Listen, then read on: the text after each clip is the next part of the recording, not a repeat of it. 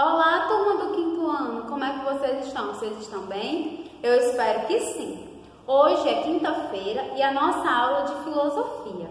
Semana passada nós estudamos sobre empatia e aprendemos que a empatia é a habilidade de se colocar no lugar do outro e que nem todo mundo tem empatia. Então, tem um texto, né, tinha um verbete para vocês e dizia o seguinte: aprender a se colocar no lugar do outro. Empatia é a habilidade de imaginar-se no lugar de outra pessoa. 2. Compreensão dos sentimentos, desejos, ideias e ações do outro. 3. Qualquer ato de envolvimento emocional em relação a uma pessoa, a um grupo e uma cultura. Quarta, capacidade de interpretar padrões não verbais de comunicação. E quinta é o sentimento que objetos externos provocam em uma pessoa. Então, tudo isso aqui pode ser a empatia. E um, o que você entendeu do texto? É uma resposta pessoal, mas que podemos dizer que a empatia é você colocar-se no lugar do outro, imaginar o que o outro está sentindo naquele momento e não fazer o que você não quer que faça com você. 2. Você já se colocou no lugar do outro em alguma situação? Aí você poderia sim e dizer como, como foi que você sentiu. E assim, gente, é bem difícil a gente se colocar no lugar do outro, né? Ter compreensão, imaginar como é que aquela pessoa, eu não vou fazer aquilo com aquela pessoa porque eu não sei, é, porque ela pode se sentir mal, né? E tem, tem essa questão. E na terceira, nós teríamos é, essa é sua árvore. Ela precisa ser regada de bons sentimentos, valores e atitudes para que você seja capaz de praticar a empatia.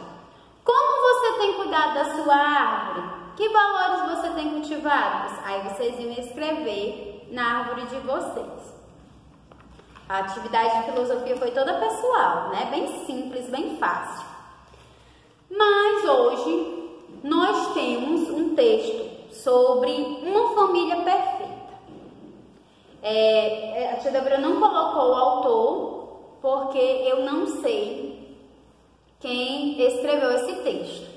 Mas ele dizia o seguinte: Eu faço parte da vida daqueles que têm amigos, pois ter amigos é ser feliz. Eu faço parte da vida daqueles que vivem cercados por pessoas como você, como eu, pois viver assim é ser feliz. Eu faço parte da vida daqueles que acreditam que ontem é passado, amanhã é o futuro e hoje é uma dádiva, por isso é chamado de presente. Olha que lindo, gente. Faço parte da vida daqueles que acreditam na força do amor. Acreditam que para uma história bonita não há ponto final. E eu sou casada, sabiam? Eu sou casada com o tempo. Ah, meu marido, ele é lindo. Ele é responsável pela resolução de todos os problemas.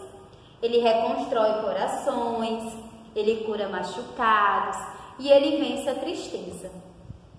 Juntos, eu e o tempo, tivemos três filhos: a amizade, a sabedoria e o amor. A amizade é a filha mais velha. Ela é uma menina linda, sincera e alegre. A amizade brilha como o sol. A amizade une as pessoas, pretende nunca ferir, sempre consolar. A do meio é a sabedoria, culta, íntegra, sempre foi mais apegada ao Pai, o tempo. A sabedoria e o tempo sempre andam juntos. O caçula é o amor. Ah, como esse me dá trabalho!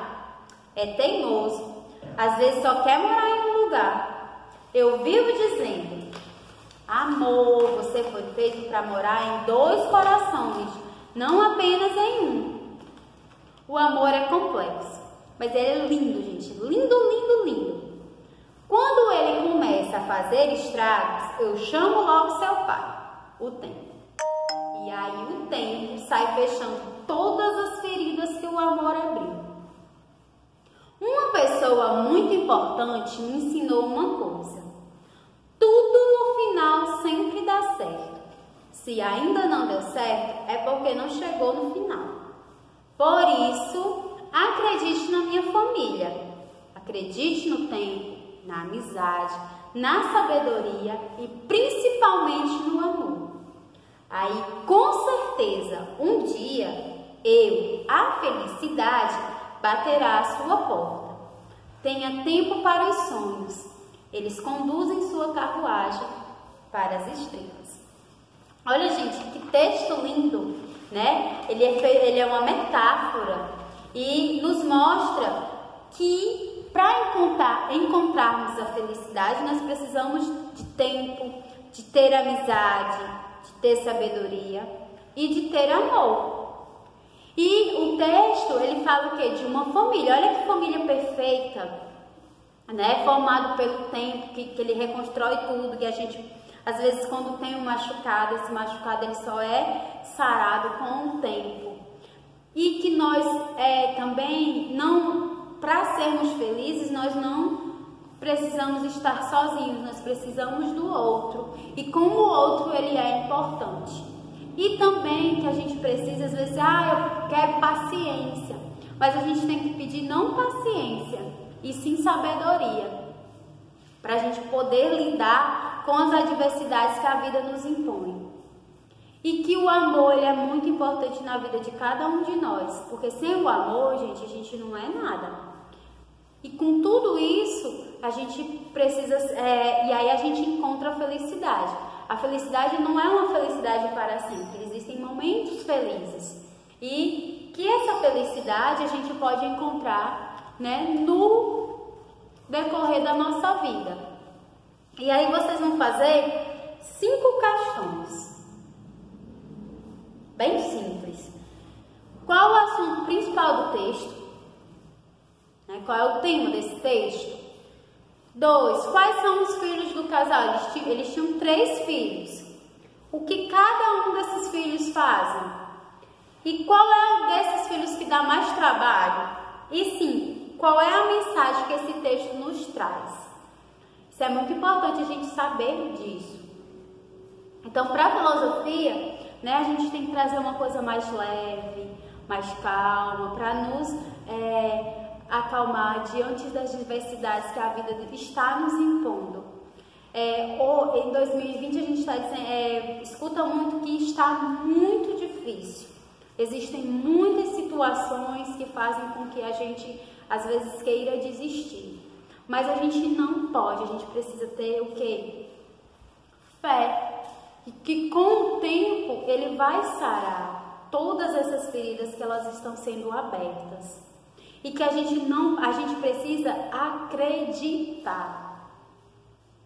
É talvez essa pandemia ela venha para a gente ainda não entendeu o real sentido dela. Mas a gente tem que perceber o quanto ela veio para nos aproximarmos mais da nossa família, que vivia um pouco é, separada devido às mídias, de, devido tanta essa tecnologia.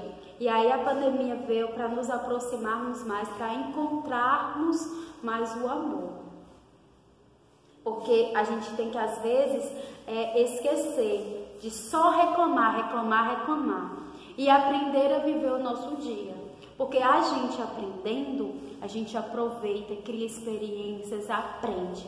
E a gente reclamando, a gente esquece de viver ok? Então essa é a atividade de hoje. Eu amei esse texto. Quando eu li esse texto, gente, eu vou levar para a turminha do quinto ano para mostrar para eles essa mensagem. E que o tempo, né, que é o pai dessa família, vai levar a gente a encontrar felicidade. Pode demorar? Pode. Mas nós vamos ter a certeza que se não chegou no final, se o final não foi feliz, é porque não chegou ainda. Tá certo? Um abraço e uma boa quinta-feira para vocês. Beijo da tia Débora.